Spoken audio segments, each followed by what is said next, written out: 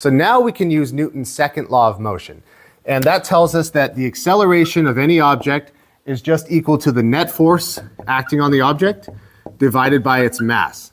And so if I take this net force and divide by this mass, I can actually calculate and predict the acceleration of this airplane as it takes off and prepares to lift off into the air.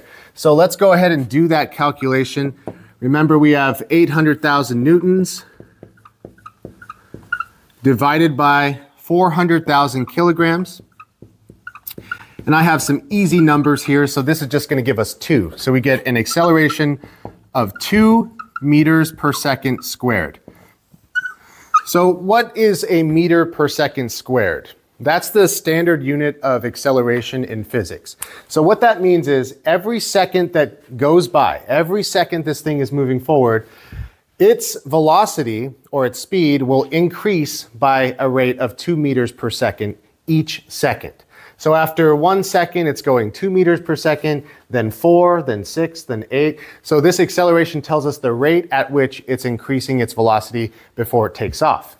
One other thing to notice is the acceleration came out as a positive number, which means it's accelerating to the right, our positive direction.